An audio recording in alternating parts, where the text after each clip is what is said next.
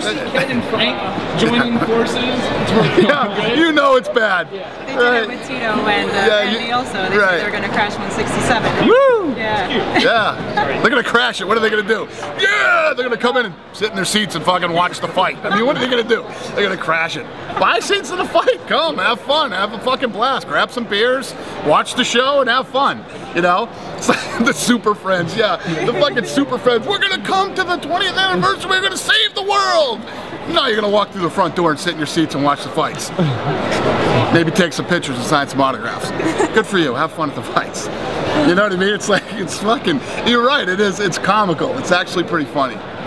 Um, and what's even crazier about it is these guys are working for other people.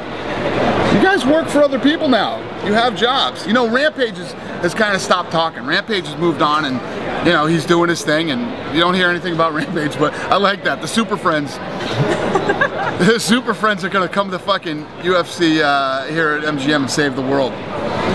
Tito's buying, dude, first of all, Tito is the cheapest motherfucker on planet Earth, okay? This guy doesn't spend a dime for anything. He offered to buy the tickets. The, the, the two uh, Shamrock knuckleheads ought to take him up on that one. We know Ken doesn't have the money.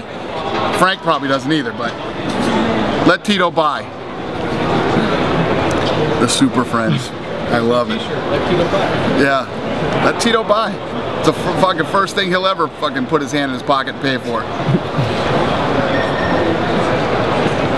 Good? Anybody have dating advice questions or something along those lines? Yeah. Anybody need to know how to pick up chicks or anything? Is there anything No? you want to tell us? Is there anything you're working on or anything like that that, that you want to let us know about? I already told you more than I wanted to tell you. All right.